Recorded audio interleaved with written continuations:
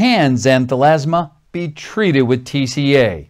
Well, sometimes this technique could be used by some professionals to treat xanthelasma. So the big question is, does it work?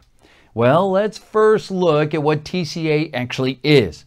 It's a corrosive acid that has a deep penetrating effect when it touches the human skin. This rapid skin destruction can be seen by some as possible treatment when it comes to fighting off xanthelasma plaques.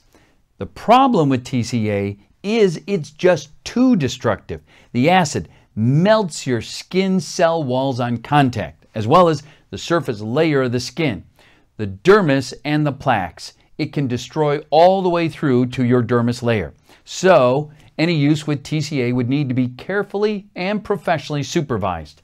Then your skin is left to heal by itself. The usual end result after all of that is often, after healing, the area is white with scar tissue, and it also has very high risk of causing hyperpigmentation. What does that mean? It means where your skin goes white permanently. As if that wasn't enough to have you put off treating the xanthelasma with TCA, there's also the problem that it could always come back. Why? Well, the plaque just moves around the cells. It didn't really go anywhere. So as the cells heal, they heal with the cholesterol cells in the edges of the treated area. That's why after TCA treatment, when they return, they are larger and they have more plaque. It's actually called the Kober effect, and it's well known within the medical community. This is why a multitude of websites talk about the very real regrowth problem of xanthelasma after any form of attempted TCA treatment. For some reason, uh, it may give a slight temporary relief from the plaques, and for a lot, it just makes the matter worse. But there is hope. You can actually remove them now very easily.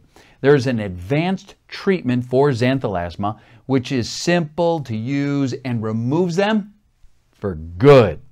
Xanthel is specifically designed to remove your plaques. In one easy treatment, apply it once and your xanthelasma plaques will whittle away. Xanthel is easy to use and very affordable, so why take a risk with anything else? Instead, you want to get rid of xanthelasma once and for all. So just apply Xanthel, and with its fantastic success rate, you too can be xanthelasma free. For more information, just click on one of the links below. And may I say, many thanks for watching. For more details, just visit the website xanthel.com or press on one of the links below. Thank you.